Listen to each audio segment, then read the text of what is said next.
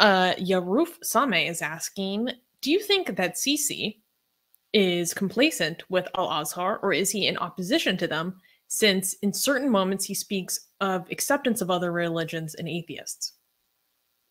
Um, he doesn't. I uh, my guess would be that he doesn't like the power Al Azhar uh, has. Uh, he would like to. He sometimes tries to test the waters by seeing how much power he has against them. Uh, but it, back, it like it's too much. Al Azhar University's uh, influence goes beyond the borders of Egypt. Is the force to be reckoned with, and that's why they don't like it. Like uh, like just like every other dictator, they don't like competing sources of influence. Like dictators don't like competing source of influence within their country, but they don't. But he cannot make it even. He can't make it obvious uh, that they he sees them as a threat. Um, is you know this is the same thing as like you know if you ha- if you're gonna have religious sources of influence if they do not fully comply like become a version of the dictator's propaganda, then they are a threat. Okay, this is why you see Putin wanting to make sure that I don't know religion is basically uh, abiding by his standards within Russia, and you see that more effectively in China, where you have to have the Catholic Church, Vatican has to bend the knee to China for them to be able to operate there. Islam has to be the uh, CCP's version of Islam for it to be oper- uh, operating there. Like nobody does this more. It's, it's, either so the, the tactics of dictators when it comes to religious sources of influence is either that you brand everything under the under my branding and you also make it my, a version of my propaganda, or you're eliminated. Okay, if I can't right? So like you can see in some countries they go full on elimination route, like like in Iran or in North Korea, um, or like and have a very small presence of people who are completely submitting to the government.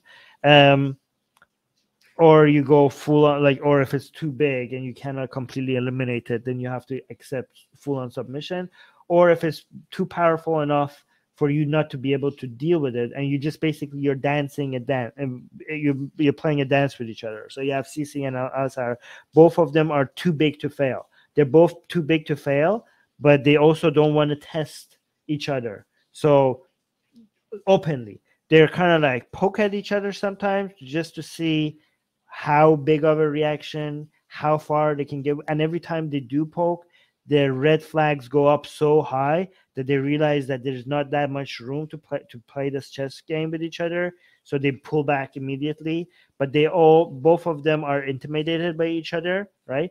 But and both of them do not want to start start something not knowing where it's going to end. Like that the confusion and the lack of clarity of who's going to be left standing if you go into a war with each other makes both of you not want to initiate something but also sometimes maybe test it because you do you're still in are intimidated. You do see the other side as a threat but you respect it you act like you respect it you act like you are in compliance with each other you act like you're complete. But again you know that if anything could take you out is the other side. So you are scared of each other. It's very interesting to watch what you could from behind the scene if anything ever leaks out it's always very interesting to see how the dance is being um, how, uh, is being played out um, from the very little information that we get. Yeah.